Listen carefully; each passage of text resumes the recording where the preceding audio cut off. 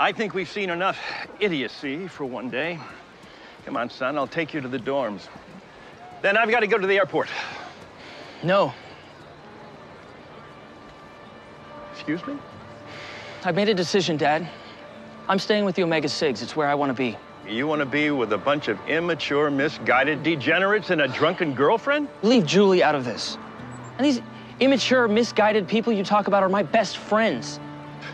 You know, I wish just for once you could stop telling me what to do, see why this is even important to me, and support my decisions. I can't support a mistake. That's just not going to happen. Now, I'm sorry to hear that.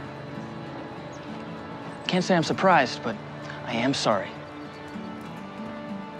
Jason, wait.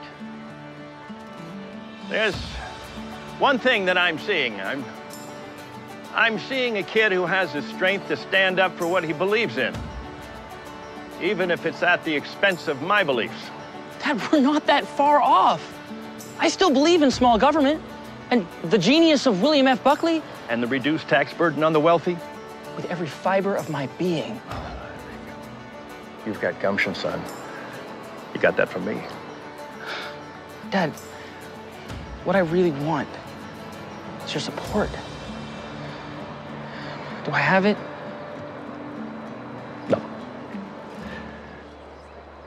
But I love you, son. What? What? Did... Tell mom hi. All right. Call me when you get settled in. you Absolutely. Love you too.